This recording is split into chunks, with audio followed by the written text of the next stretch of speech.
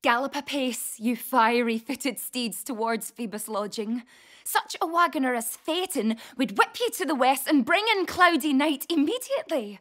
Spread thy close curtain, love performing night, that runaways' eyes may wink, and Romeo leap to these arms untalked of and unseen.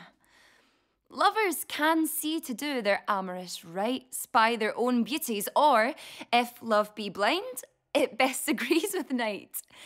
Come, civil night, thou sober suited matron, all in black, and learn me how to lose a winning match played for a pair of stainless maidenhoods.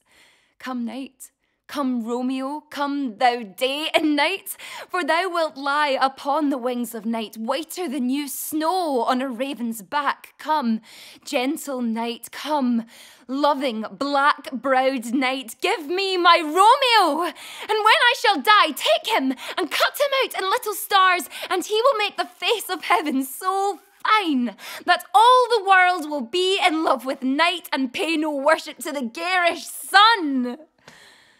Ah! so tedious is this day, as is the night before some festival to an impatient child that hath new robes and may not wear them. Oh, here comes my nurse, and she brings news, and every tongue that speaks but Romeo's name speaks heavenly eloquence.